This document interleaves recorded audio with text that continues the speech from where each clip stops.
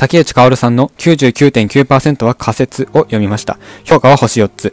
初版は2006年2月です。まとめると、世界は仮説でできている。その思い込み、もしかしたら自分で人生つまんなくしてるかもよって感じです。世界の見え方自体が自分の脳内の仮説によって決まります。ガリレオの望遠鏡と、それで月や太陽を見た当時の学者。古い仮説を倒すことができるのは、その古い仮説の存在に気づき、新しい仮説を考えることができる人だけ。古い仮説を捨てて新しい仮説に引っ越す作業が科学革命である。全く新しい発想は迫害される。とガリレオは述べています。時代と場所によって正しいことは変わります。人殺しと戦争の英雄みたいなもんですね。科学は常に反証できるものである。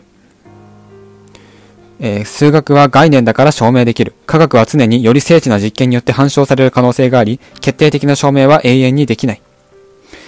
限りなく白い仮説であっても、限りなく白に近い仮説であっても真理にはなれない。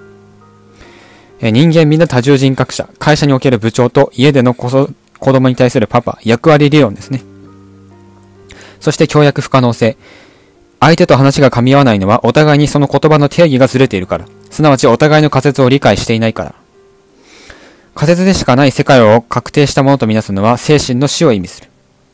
印象に残った部分があって、え箇条書きに近くなってしまいました。え言葉の定義を確かめるというのは議論を充実させるために大事だと思いました。